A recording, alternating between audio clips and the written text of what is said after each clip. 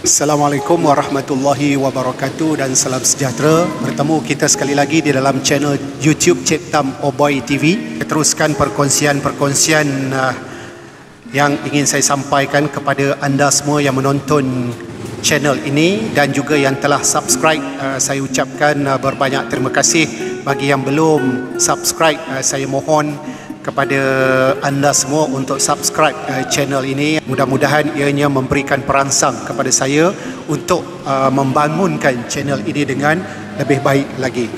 Baiklah, uh, kali ini topik yang uh, saya pilih untuk uh, kita bincangkan uh, bersama ataupun uh, kita kongsikan bersama dengan anda semua ialah cara belajar berkesan. Khususnya dalam konteks uh, bila kita dah belajar bagaimana kita nak mengingati sesuatu yang telah pun kita pelajari? Dan uh, topik ini uh, juga uh, pada saya bukanlah hanya uh, satu makluman ataupun maklumat untuk uh, kepada satu peringkat umur sahaja tetapi sebenarnya ia memberi pada saya ianya adalah satu keperluan dan memberi manfaat uh, kepada kita semua. Tak kiralah peringkat umur kita berapa. Kerana apa pada saya sebenarnya belajar ini bukanlah uh, terhad kepada satu-satu tempoh saja. Sebenarnya belajar ini uh, adalah merupakan uh, lifelong learning process. Setiap daripada kita memang dituntut di dalam agama untuk kita terus belajar sepanjang hayat kita. Justru bila kita belajar, bila kita mendapatkan sesuatu ilmu itu, maka antara masalah yang dihadapi oleh kita semua adalah uh, bagaimana nak ingat balik. Uh, kebanyakan daripada kita bila pergi kuliah-kuliah di masjid ataupun surau contohnya balik kita dah lupa dah apa yang uh, kita dengar di dalam kuliah tersebut. Begitu juga para pelajar murid-murid di sekolah eh. Apabila belajar di dalam PDP ataupun PDPR lepas tu dia dah lupa balik apa yang diajar oleh cikgu. Ini di antara masalah utama yang dihadapi oleh setiap orang yang uh, belajar, setiap orang yang sedang mencari ilmu ada kecenderungan untuk uh, lupa balik apa yang uh, dia telah dapat. Sebelum tu uh, saya nak bawa uh, kepada anda semua untuk melihat uh, klip video ini. Mari kita saksikan. Sekarang murid-murid saya mulakan dengan Pak Man. Pak Cik Mat, cuba sebutkan perkataan ini. Alif, ya, mim, buaya. Bukan buaya. Alif, ya, mim, ayam. Oh, ayam. Pak Cik fikir buaya. Pak Cik Dong, cuba sebutkan perkataan ini. Ya. Be, wow, re, re, unta. Bukan unta. Be, wow, re, burung. Oh, burung. Kupikirkan unta. Pakcik Amir, tutup mulutnya sedikit nanti masuk lalat. Aha, macam mana? Ha, dapat tengok tak gelagat? Aha, apa Pak Cik Mat? Alif, Ya, Mim, Buaya. Ha, dan juga gelagat ha, Pak Cik Dul. Ba, Waw, Re, Nge, Unta. Ha, itulah ha, antara gelagat ha, masyarakat kita walaupun telah lanjut usianya tetapi nilai positif yang dibawa Dayarham Tan Sri P. Ramli ini di dalam filem Pendekar Bujang Lapuk adalah uh, keinginan mereka untuk terus belajar walaupun dalam usia yang telah pun lanjut. Kita kena ambil uh, nilai positif itu.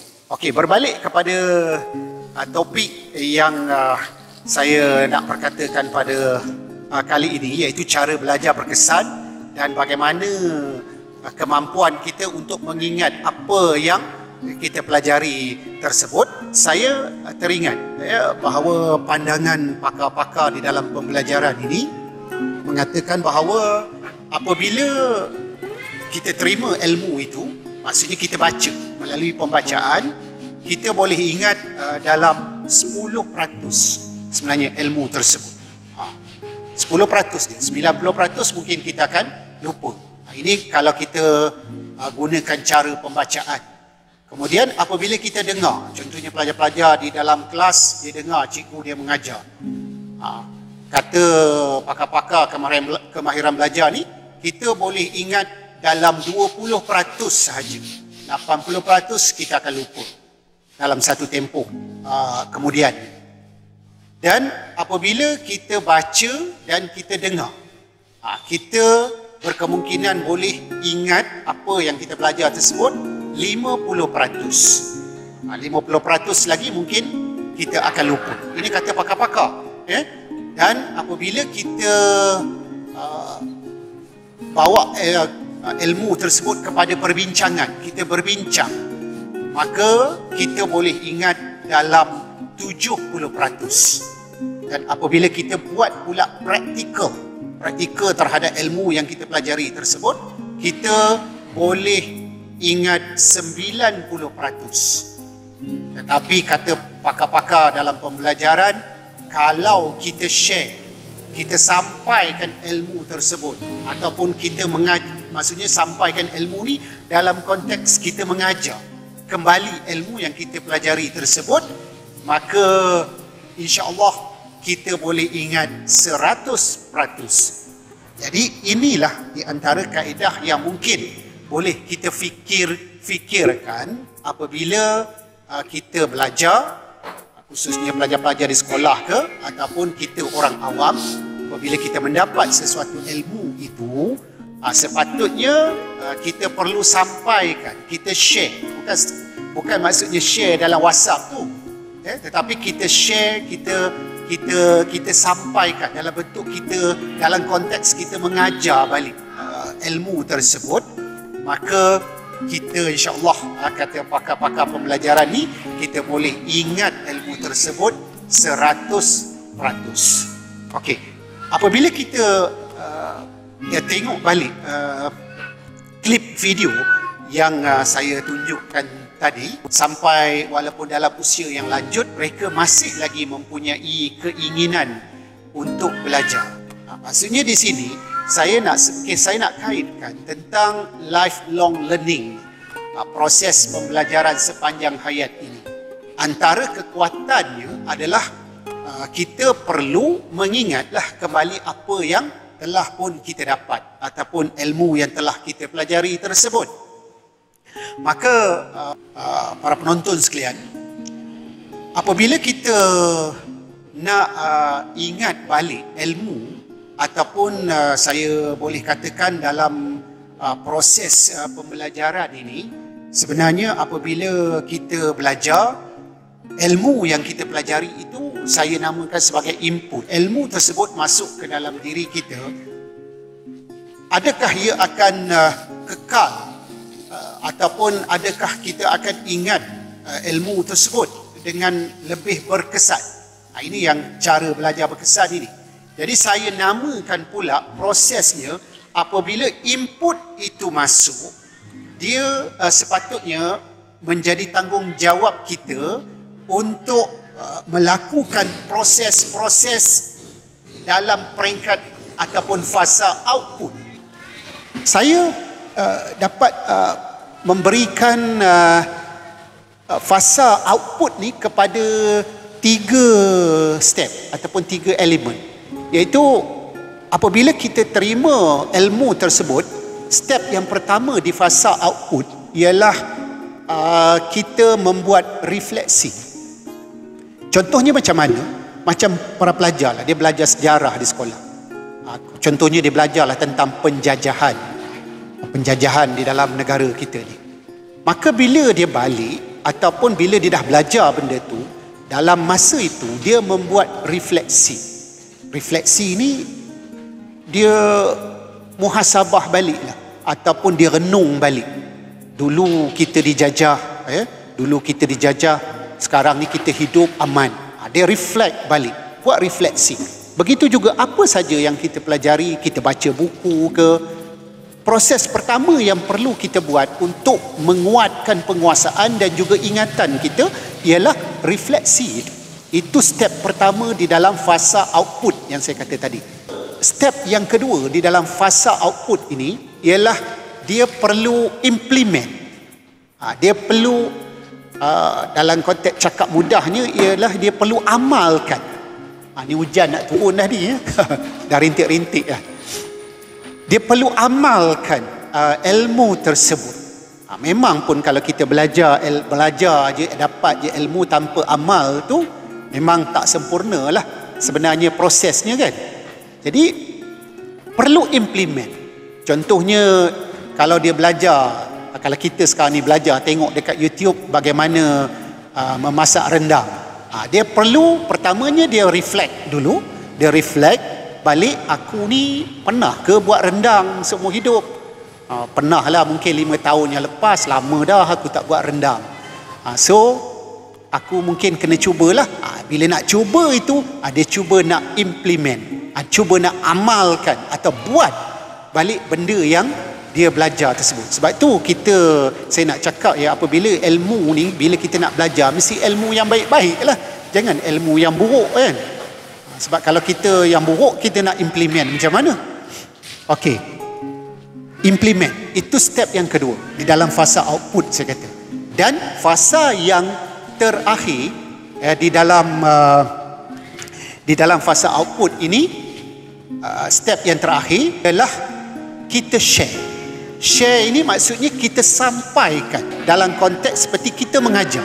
Uh, macam yang saya buat sekarang ni lah. Uh, maksudnya uh, bukanlah maksud saya ni pakar bukanlah saya ni bijak untuk menyampaikan sesuatu mungkin uh, di luar sana yang mendengar apa yang saya sampaikan ini mungkin uh, apa ni ada pandangan-pandangan yang berbeza tentang apa yang saya perkatakan.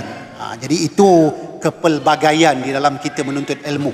Tetapi hasratnya yang kita buat ini yang saya buat ini adalah untuk saya share ataupun saya dalam konteks seperti mengajar balik supaya apa yang saya ada akan uh, penguasaan dia adalah lebih mantap uh, dalam diri saya itu. So uh, inilah uh, sebenarnya cara uh, belajar berkesan yang dalam konteks yang luasnya bagaimana kita nak menguasai sesuatu ilmu itu. Maksudnya kita ingat benda tu kita boleh kita boleh gunakan ilmu tersebut kita boleh implement tadi kan dan kita boleh juga nanti kongsikan dengan orang lain. Jadi sekali lagi uh, saya ingin tegaskan bahawa uh, cara belajar berkesan itu terbahagi kepada dua iaitu input dan output. Input adalah sebarang ilmu yang kita terima diharapkan ilmu yang baik-baik dan juga outputnya adalah apa tindakan selanjutnya daripada kita untuk memastikan bahawa penguasaan kita terhadap sesuatu ilmu tersebut yang saya kata tadi terbahagi kepada tiga step atau tiga peringkat iaitu uh, peringkat refleksi, peringkat implement dan kemudian kita share, kita sampaikan ilmu tersebut.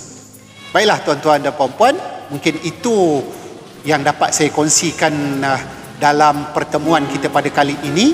Dan uh, yang akhirnya saya ingin uh, sekali lagi menegaskan bahawa belajar ini bukanlah proses ada tempoh tempoh yang tertentu. Dia merupakan lifelong learning process. Uh, dan kalau kita sebut uh, tokoh-tokoh yang hebat uh, di dalam negara kita ini contohnya Tun Dr. Mahathir Mohamad. Kita kalau sebut je nama-nama tokoh ini pasti kita akan mengatakan bahawa kehebatan seseorang tokoh ini di dalam bidang dia. Kalau kita tanya kenal tak dengan Tun Dr. Mahathir Mohamad? Maka orang kan kata oh kenal dia ahli politik uh, yang hebat uh, politician yang hebat. Uh, selalunya sudut pandang kita terhadap seseorang tokoh ini berdasarkan bidang yang dia ceburi. Tetapi selalunya kita lupa bahawa uh, kehebatan seseorang itu sebenarnya adalah kerana dia pasti seseorang yang committed kepada lifelong learning process ini jadi moga-moga uh, kita semua dapat uh, berfikir ke arah itu. Moga-moga uh, kita semua diberikan kekuatan untuk terus belajar, eh, mencari ilmu di dalam kehidupan kita. Sekian. Wabillahi taufik wal hidayah. Wassalamualaikum warahmatullahi wabarakatuh. Jumpa dan jumpa lagi.